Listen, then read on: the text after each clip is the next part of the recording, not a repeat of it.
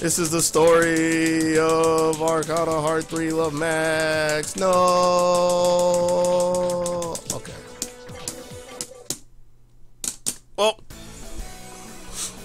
I did everything I said I was going to today.